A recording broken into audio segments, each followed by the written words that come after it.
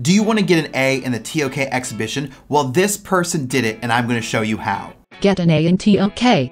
The example that we're going to look at today is the IB's official example of what a TOK exhibition that scores a 10 looks like. Now, I'm not sure if I can provide a download link to this PDF or not, so I'm not gonna do it. But if you wanna look at other examples that I wrote just for you, you can go down into the description of this channel, download my entire exhibition packet, which um, hacks the rubric. It um, makes an organizer that you can use, and it provides multiple examples that I wrote so that you can see other examples of um, really high scores. The only thing is, um, don't plagiarize me. Like, seriously, I don't wanna, you know, cause you to fail the whole diploma program. Also, you'll get caught. I'm working on a website. I'm gonna put these guys all up there. So um, just click subscribe, click my links down at the bottom, get an A. All right, let's go. So this example got an A. And because it does something weird, I think a lot of people are gonna try to emulate this, but it does something weird and unique that the IB in their response to this actually said, we don't ask you to do. And that's this intro right here. And the intro is not required, it's not asked for, but this person did it. So um, while it's totally fine that you do it, I think unless you are brilliant, this introduction is actually going to hinder you because um, it's taking up words that you might want to use for development. So I would actually suggest cutting this out or cutting it way down. There's two things in here that I really like. Let me show you um, what is so good about it. Also, this is 126 words. That means that after this introduction, they only have 825 words to um, write the exhibition. That's that's crazy. So um, anyway, let me show you how this introduction works and if you want to do one, how to make it really good. So they title their um, exhibition Subtext and Connotation, and these are the two keys that they're going to do. And yes, I am doing University of Washington colors, go dogs. And they're going to be talking about subtext and connotation the whole time. So the TOK prompt I have selected is what challenges are raised by the dissemination and or communication of knowledge. This is a really good prompt. This exhibition explores this prompt by reflecting on knowledge and language. We've got WOK there. Way of knowing. Ooh, that looks like Washington. And more specifically on whether subtext and connotation always create confusion rather than help us to communicate knowledge. Honestly, I would stop right here but they keep going. It's really good, but I don't think this is necessary. The language we use in our everyday lives can often be interpreted many different ways by different people, depending on their cultural background, beliefs, ideologies, affiliations, personal experiences, etc. Don't ever, come on, don't say etc. In particular, it seems that subtext and connotation can be particularly challenging as they are often only recognized by people that share some particular knowledge or experiences and it seems that they can easily be interpreted very differently by different people, which can cause confusion and hinder communication of knowledge. Okay, that's cool. It's not necessary. But the reason that it works so well is it's very specific. It doesn't just say, here's the IA prompt I'm gonna talk about. It says all three of my responses are going to take this very specific approach, which is talking about subtext and connotation, creating confusion. So this is the theme that holds it all together, and it does it in 126 words. It says, here's what my whole paper is about. Um, I wouldn't suggest this, but um, if you wanna do it, go ahead. So the first object is a very, very pixelated Starbucks cup, um, holiday, holiday, not Christmas cup. Come on, we gotta be politically correct. We gotta be woke here. So um, that's their object, and this is probably the best example of staying laser focused on an object. They, they do it better than some of my examples, honestly. This, this inspires me. You know, they've got a holiday cup. I want a Festivus pole right in the middle. That's what I want. Okay, let's read about the first paragraph, which is they're gonna introduce the object and its context. They nail it. Here, let me get my yellow highlighter ready. This cup was used by Starbucks in 2017, here's the object and the context, and was controversial because some people viewed the symbol of the two hands, two hands holding hands, on the cup as a sign that Starbucks was promoting a homosexual agenda because they saw the cups as having an LGBT subtext. I don't know how holding hands is LGBT. That's that's kind of weird.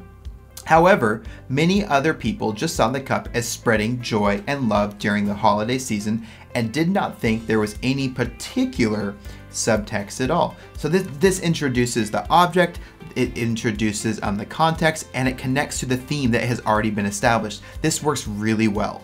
In the next paragraph, they're going to tie this all into knowledge. This cup is particularly interesting for this exhibition because a Starbucks spokesman said that they had intentionally designed the cup so that customers could interpret it in their own way, which suggests that they were deliberately trying to communicate in an open or vague way rather than seeing the disagreement that might that this might cause as being negative or a challenge. In this way, the cup highlights how confusion arising from the use of subtext can be useful or can actually even be, be used by people to intentionally provoke discussion.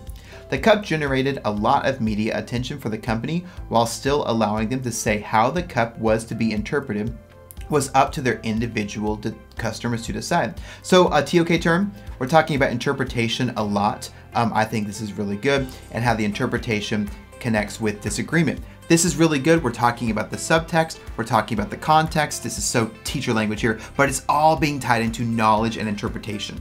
The third paragraph is going to, um, not explicitly, but more implicitly tie into the question, I'm sorry, into the prompt, which is about, what is it about? The challenges that are raised when I'm communicating. So look at what the last paragraph says. This is very strong, but I wish it was tied into the prompt more. This cup also enriches the exhibition. So that's saying, hey, look at me, I'm addressing the rubric because both some members of the LGBT community and also some members of the right wing media and public saw the cups as promoting same sex relationships. While both of these different groups interpreted the cup this way, their reaction was very different, with one seeing this as very positive and one being very upset about it. So, here again, we're talking about perspectives. Yet other people didn't see this subtext at all. So, in this particular case, it wasn't only that the subtext itself was seen or understood by some groups and not others, but also that the reaction to the subtext also differed very dramatically. So, what I like about this is this is taking one step deeper than talking about the cup. So, this says this cup existed, but now there are perspectives. And so, we're breaking it down. That's what analysis is. You break something down and then you form conclusions. And um, they're saying because there was this agreement, one of the th- one of the things I'm noticing is there is this agreement, but there's also agreement with different perspectives as to whether this thing that we both found was good or bad. Really great way to go deeper. The last thing I like about this example is they don't um, tell us an answer; they get us to explore. And I've got the best handwriting here.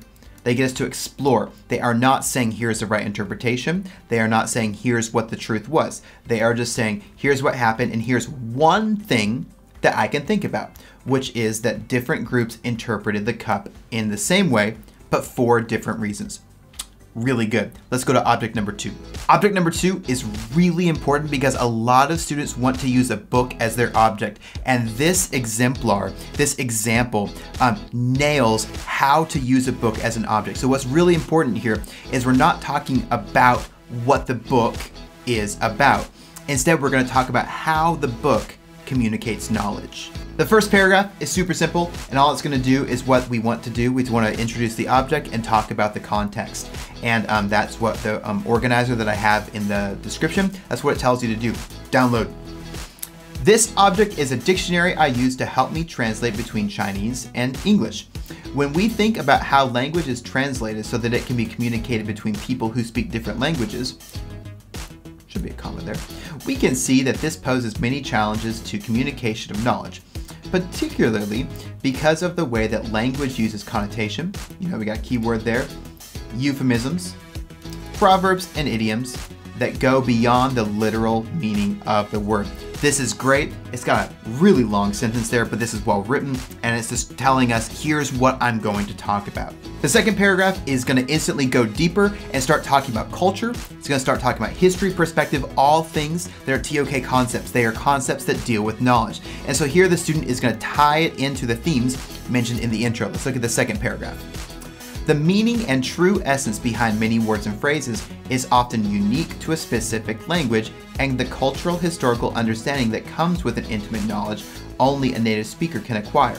Particularly things like connotation, where language can have not only its literal translation, but can also can have secondary meanings. So though we don't mention the dictionary here, it's very clear that this object is talking about how the dictionary communicates, not what it's doing, which is defining. Two totally different things. The third paragraph is um, really pretty short. This whole response is pretty short here, but it's going to use the phrase um, included in this exhibition, which is something that the rubric asks to do. This is really short, but it's very clear, on topic, and goes deep very quickly. This dictionary is therefore included in the exhibition as an example of where language and culture can really impact on communication of knowledge. That's the prompt, by the way. And on whether we can whether we see connotation or subtext keywords. Man, they're nailing this. This is so good. At all, as those nuances might be lost in translation. I also have included this dictionary in this exhibition because of how it represents me and the challenges around language and communication that I have personally experienced in my life and as a DP student. For example, I have personally experienced how some words and ideas do not translate easily from Chinese into English. So what I love about this example here, and this is personal and it is not required to integrate yourself or your own experiences into it. It's not required that you use your own objects. But what happens if you choose to do things that you are connected with, you, you have something else to analyze, and that's how you interacted with it. So this, this is just a great example. So again, if you use a book, if you use your EE, um, if you use especially a religious text, don't talk about what the book talks about. Talk about how it communicates and how it conveys knowledge. Object number three, if you haven't noticed a pattern yet, you may not be smart enough to get an A in TOK. Nah, I'm just kidding. Download my packet in the comment in the description and you will. But um, look at what the first paragraph does here because um, it's the same thing over and over again and they just nailed it. So the third object is the song Strange Fruit by Billie Holiday. Look at the first paragraph, does the exact same thing. And sure, it's not the most amazing thing, but they're doing what the IB wants you to do.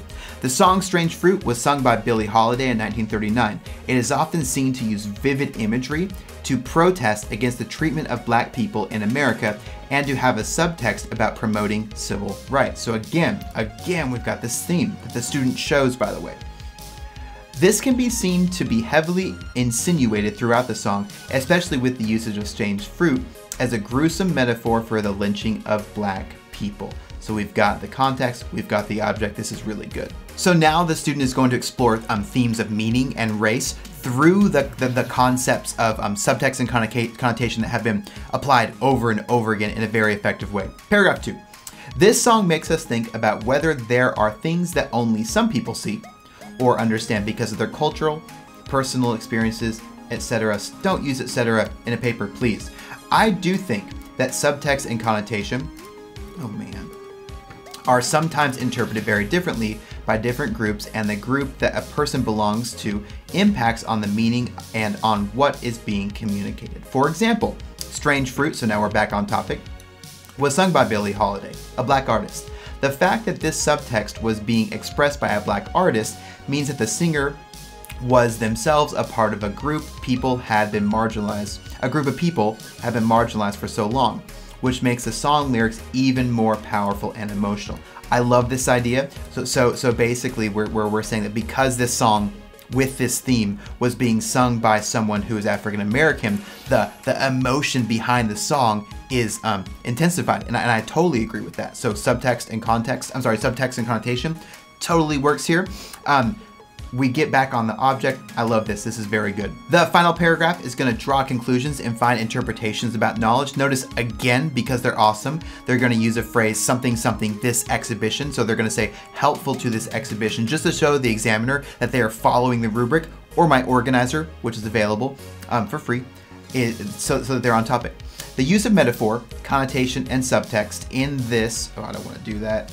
I want my nice little yellow in this song helps the song communicate complex emotions and themes about racism and civil rights. In this way, the song is a helpful addition to this exhibition because it provides a good contrast to the dictionary. Really important, you do not have to compare or contrast at all. This paper is way too short to do that, but if you drop in these little tiny comparisons here, I think that's really good and the IB's gonna take note of that. It's gonna tie it all in together. Thinking of a Big Lebowski comment here, but um, it's not required at all. I think that if you do it just a tiny bit there, it's gonna be good. The dictionary highlighted that subtext and connotation can sometimes, sometimes cause confusion because they add a layer of interpretation to the literal meanings of language.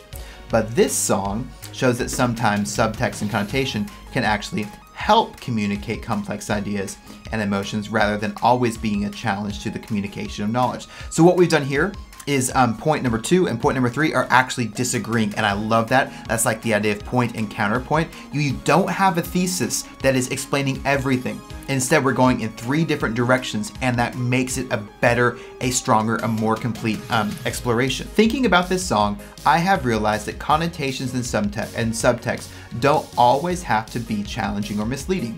If the person is trying to evoke a powerful meaning or emotion, Often, words that have many layered meanings deliver a more powerful impact.